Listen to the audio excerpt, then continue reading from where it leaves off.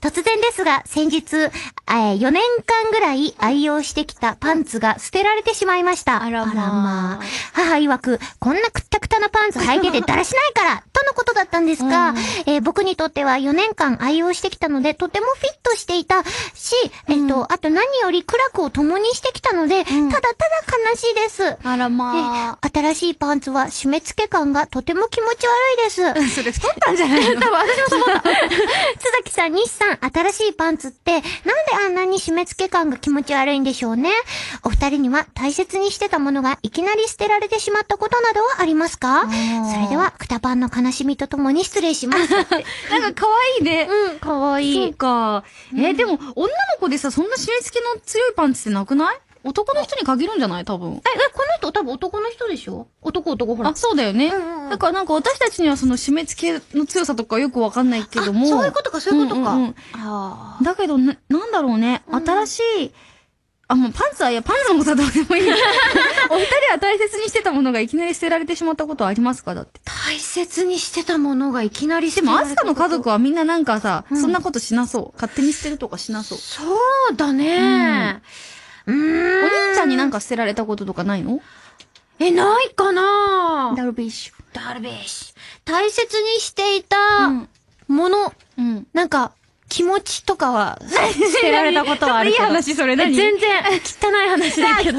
話何それちょっと聞かせてよ。え、いいのかなこの話。時間あるかな？大丈夫？うんあのね、それはそれは昔、うんあの、私がまだ、4、4歳とかそのぐらい。うんうん、ちっちゃいね。そう。4歳、3歳、そのぐらいだったかな。うんうん。お兄ちゃんが2個上だから、まあ5、6歳とかそのぐらいだったんだけど、その頃ってまだやっぱり二人兄弟一緒にお風呂入ってたんだよね。うんうんだからお母さんにお風呂入りなさいって言われたら、二、人で一緒にわーって脱衣所行って、わーって着替え、うん。脱いで、うん。わーってお風呂入ってたんだけど、うんうん。でも、そのわーってしてる時に私が、はおしっこしたいと思って、うん。その時口に出しちゃったわけ。おしっこしたいおしっこしたいって言って、でででででって脱ぎながら走ってって、したらお兄ちゃんがうんめっちゃ意地悪だから、うんね、めっちゃニヤニヤしながら、俺が先入るとか言って、やりそう、お兄ちゃんがバーって全部脱いで、うん。ほんで、私をを押しのけて、うん。トイレ入ったの。で、トイレで、うん。なんか、あの、た、立ってね、うん。男の子だから。うん。で、ジョジョジョってやってるのを、うん。あの、パって後ろを振り向いてね、うんドアの方を見て、うん。で、私に向かってドヤ顔してきたの。俺が先だぞ、みたいな。うん。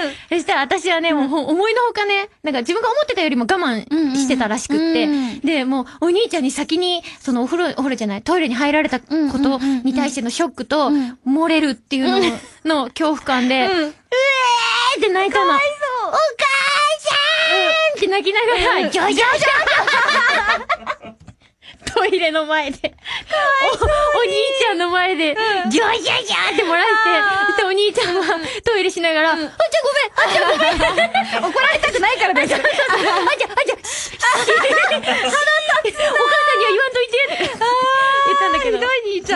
お母さんには聞こえてたから、うんうんうん兄ちゃんあんた何してんの？そうだよね。そうだよね。でお兄ちゃん当時何歳だったの？当時5、6歳とかそのぐらいかな。あれ2歳差だっけ？2歳差。あそっかそっかそっか。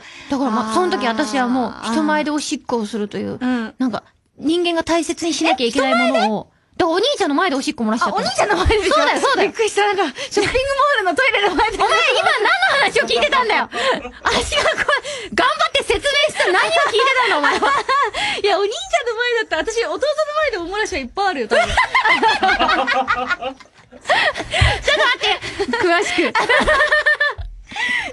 でしょ？あるある。や、私はその一回きりだよ、だって。本当に？うん。私もちょっとあるかな、多分。なんなの？どういう状況なの？私はいいのよ、別に。私ね、あれだよ、あの、捨てられたことある弟にさ、それで思い出したんだけど、うんうんうん。なんか、弟がすごいお人よしで、お人よしっていうかなんかもう、バカがつくほどお人よしで、はははで、なんか友達とかがよく私ん家遊びに来てたのね、うんうん弟の友達が。うん。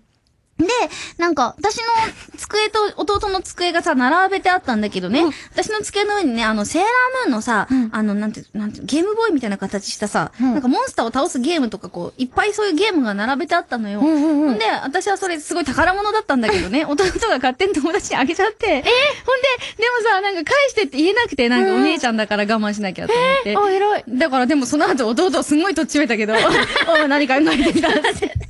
おいおいおい。とっちめてたよく。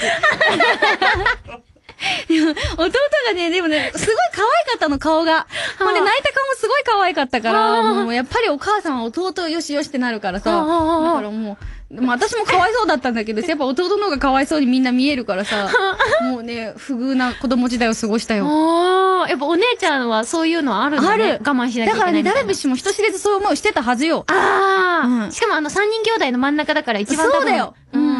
大変だったんだろうね。うんまあじゃあ、まあお妹のおしっこ見てもしょうがないか。そうだよね。大事にしてあげて、ダルビッシュ兄ちゃんを。そうだね。